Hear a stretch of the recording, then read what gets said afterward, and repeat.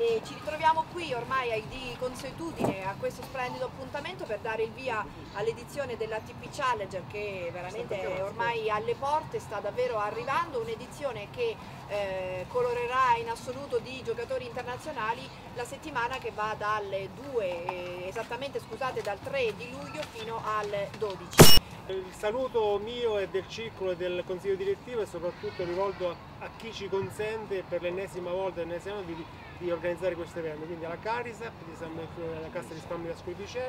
e al Comune eh,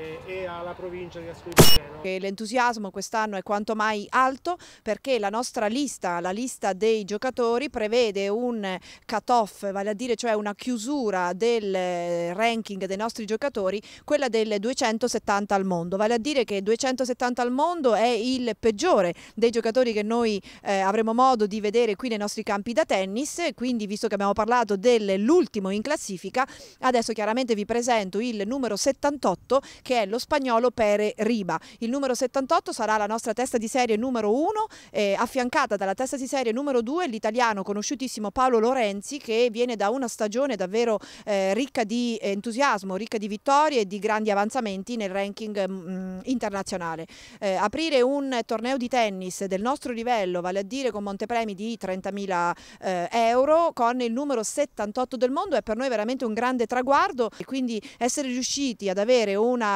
panorama di tennisti così importanti per noi è sicuramente un motivo di grande lustro. Do alcuni nomi, soprattutto quelli dei terraioli italiani che sono Paolo Lorenzi appunto il numero 95 del mondo e eh, parliamo anche di Alessio Di Mauro, Daniele Bracciali, parliamo anche di Stefano Galvani, nomi ormai altisonanti nel panorama della terra rossa italiana. Eh, vi do l'appuntamento chiaramente qui dal 3 all'11 luglio, vi ricordo che l'ingresso è gratuito, quindi chiunque potrà accedere ai nostri campi da tennis e soprattutto dalle ore 17 del pomeriggio ininterrottamente fino alla mezzanotte troverete i migliori match nei nostri campi da tennis. Quindi l'appuntamento, ribadisco, è dal 3 all'11 luglio qui al Circolo Tennis Maggioni.